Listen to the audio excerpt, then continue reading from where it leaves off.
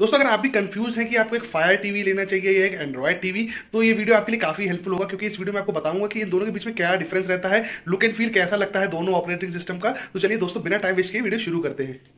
तो दोस्तों, ये देखिए, ये है मेरा एंड्रॉयड टीवी अभी इसमें आप देखेंगे, जब भी आप एंड्रॉयड टीवी लेंगे तो इस तरीके का यूज़र इंटरफेस लिखता है। यहाँ सारे आपको एप्स दिखेंगे नेटफ्लिक्स है, जो भी आप इंस्टॉल करेंगे, यहाँ आपको सारे एप्स दिखेंगे। यहाँ रिकमेंडेशन भी आपको दिखते हैं। तो देखिए, आपने जो जो एप्स इंस्टॉल कर रखी है तो उनके रिकमेंडेशन भी दिखते हैं। जैसे नई नई कोई भी मूवी आई है, ये सब दिखते हैं।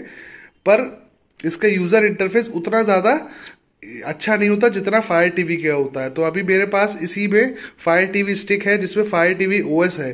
तो मैं अभी वो कनेक्ट करके दिखाता हूँ। ये देखिए फायर टीवी स्टिक ये फायर टीवी ओएस पे बेस रहती है। ये देखिए, इसका यूज़र इंटरफेस कुछ इस तरीके का दिखता है। अगर आप एक फायर टीवी लेंगे तो आप जैसे ही होम स्क्रीन पे आएँगे तो आपको इसी तरीके का इंटरफेस दिखेगा, जिसमें देखिए टाटा ये नेटफ्लिक्स है, और आपका Disney Hotstar Prime Video ये सारे आपको दिखेंगे एप्लीकेशन और उसमें रिकमेंडेशन भी काफ़ी अच्छे आते हैं। तो देखिए, अभी मैं अब स्क्रोल कर रहा हूँ तो जितनी भी एप्स हैं, उन सबके रिकमेंडेशन देता है। तो दोस्तों, अब क्वेश्चन ये है कि आपको फायर टीवी लेना चाहिए या आपको एंड्रॉयड टीवी लेना चाहिए।